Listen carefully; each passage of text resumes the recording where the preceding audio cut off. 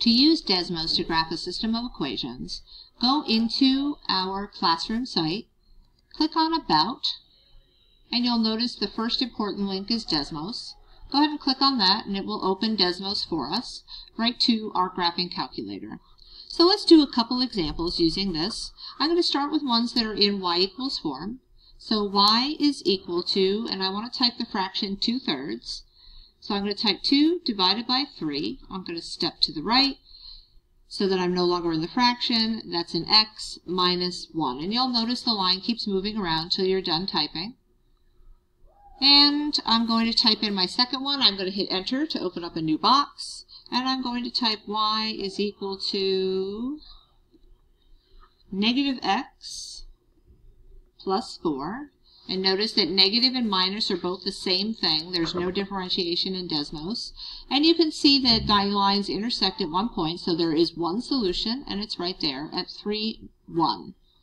So the solution to this system falls at the point 3, 1 but I still need to get it on my paper. And there's a couple ways to do this. You notice it gives you some nice points here. So there's three on this line that I can get on my paper. And there aren't any really great ones that pop out when we're looking at the red line. Oh, there are. But this is one and a half. I don't want to graph that one. This one looks okay. So I need to open up my table. So I'm going to go to this little wheel and I'm going to click on it. And you'll notice that I can open up a table. And it gives me the point 0, 1 and I don't want to use these points. This does not scroll like your calculator, so I have to ask it, just like when we trace our graph. So let's see what's going on at 3. And there's a point at 3, 1. And how about negative 3? Oh, negative 3, negative 3, 1, 2, 3, and there's another point right there. When you are done using the table, if you hit this undo arrow, it will take you back all the way to your equation.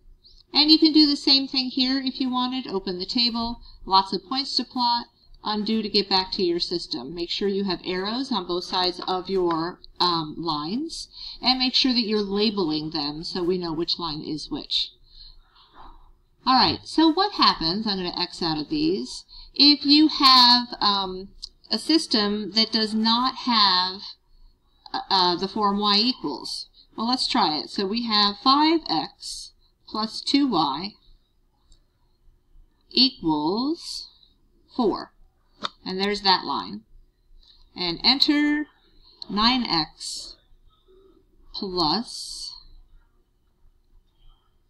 2y equals 12. Hey, there are my lines, and again, you can see they cross one time. There's my intersection, so that's the solution to these systems. Now, when I click on this, you'll notice there's no table here.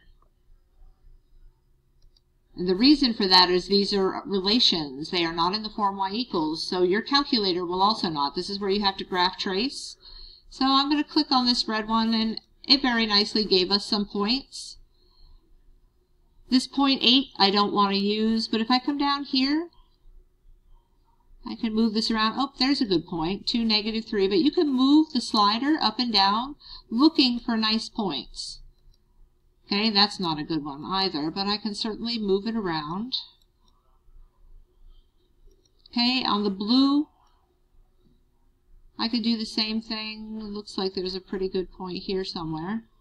Oh, 1, negative 4. So you can find your points by also tracing this. So this is very similar to our, oops, I lost my 12. That's why that looks funny. This is very similar to our calculator. Okay, so again, I can pick a point here. I can slide it around until I find something that looks great. There's a point at 4, negative 8. And,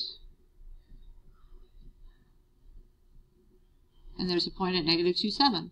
So you just have to look for them, same as you do on our calculator.